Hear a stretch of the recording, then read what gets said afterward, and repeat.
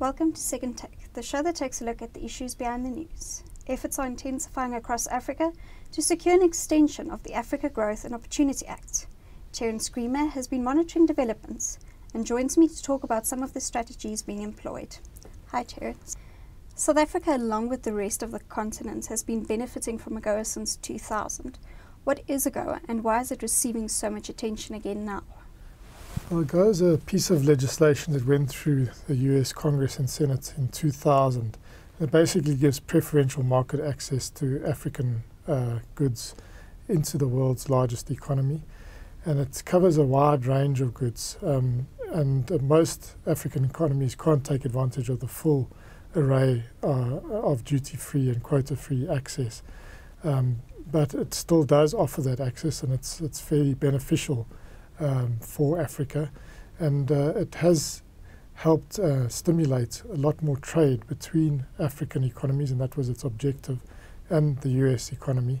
And it is unilateral in the sense that uh, Africa didn't have to offer any reciprocity in return for receiving these benefits, which were first, uh, you know, uh, introduced when President Bill Clinton was still in office. It was renewed in 2008 when President George uh, Bush was in office and now it's uh, it's become a topic of discussion again, because uh, in the next couple of years, uh, the Congress and the Senate have to decide whether they're going to renew it again beyond the September 2015 expiry date. What are some of the concerns being raised in the US about the future of AGOA and South Africa's participation in particular? Well, there's a review underway. You know, um, the US has got many issues at the moment economically, and I think they're wanting to make sure that this legislation is achieving its objectives. It was really about uh, helping Africa improve its trading position. So it was a trade rather than aid type remedy. And it seems to have uh, supported uh, Africa's uh, uh, expanded trade with the US. But uh, whether it's achieved what the US lawmakers that, that you know, drafted the legislation wanted is, is something that's being reviewed now.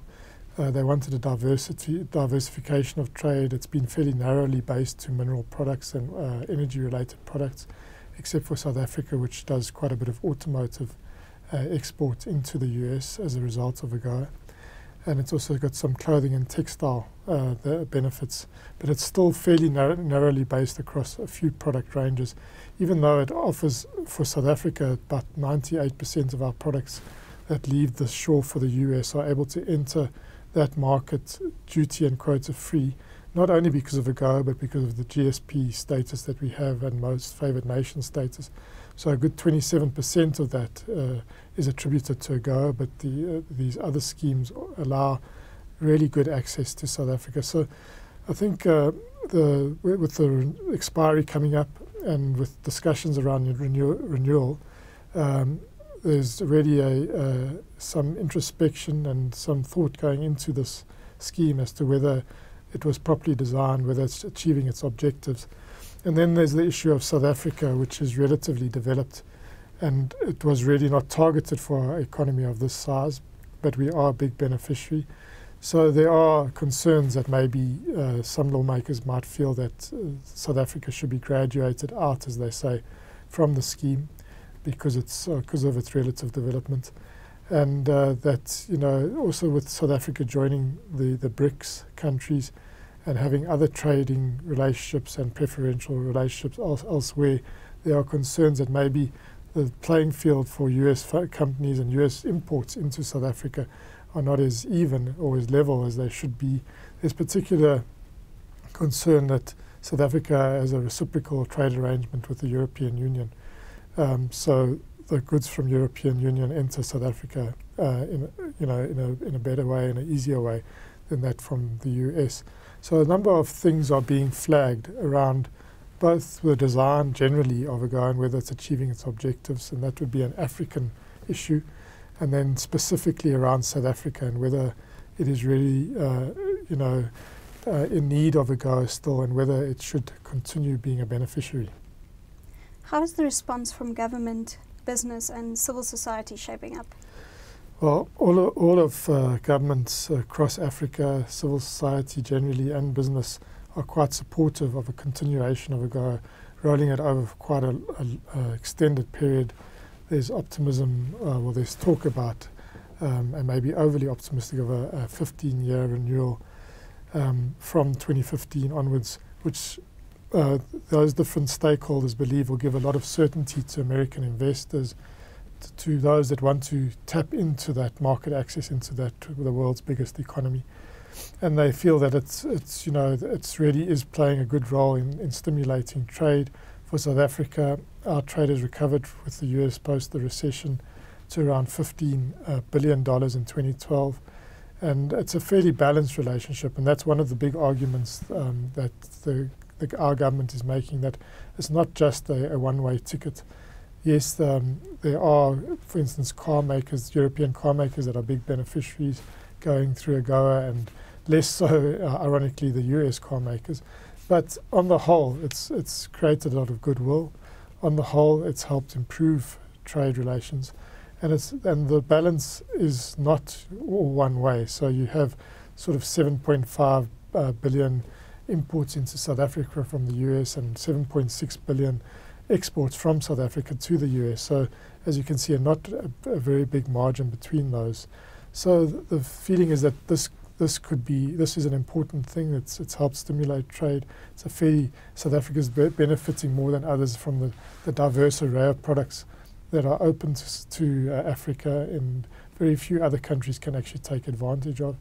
And then there's the whole issue about um, our desire for greater regional integration and having a separate um, and distinct uh, trading relationship or trading arrangement into the US uh, for South Africa when it is really part of one SACU and the immediate countries. Then there's the SADC uh, block, and then there's going to be this bigger uh, free trade agreement from Cape to Cairo. And having a, a, distinct trading framework for South Africa could, you know, place a few constraints in, in the way of building up regional uh, supply chains and value chains, which is the objective of regional integration and an objective very much supported by the US administration and by the lawmakers.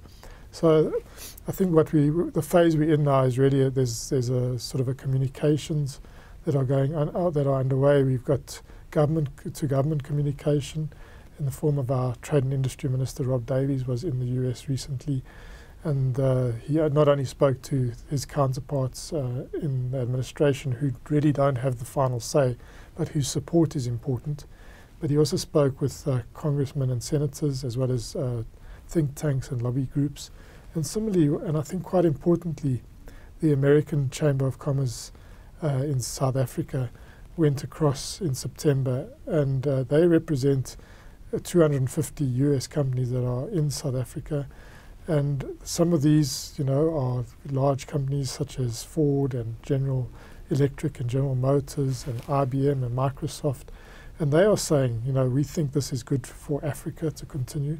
And given that we are uh, American companies that are in this jurisdiction, whatever is good for Africa is also good for us ultimately in the sense that it helps growth and development, it helps expand the middle class uh, in Africa, and it's that middle class that is going to be buying products from the likes of um, uh, the car makers, the software companies, the computer firms, and all the others that we know about the Coca-Cola. So I think that that was a, that's an important message, even though they have some issues themselves with AGOA, and they also have some issues with the what they see as the uneven playing fields between themselves and say European companies, and they're using this time as a bit of a lever- using that as a bit of leverage to try and get a better deal out of the South African government.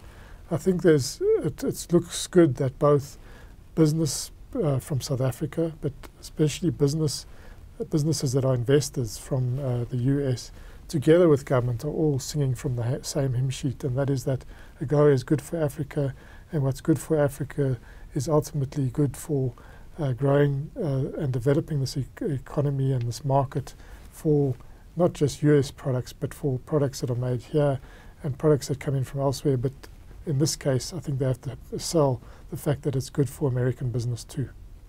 Thank you. That's the second take show for this week. Thank you for watching and join us again next time for more news analysis.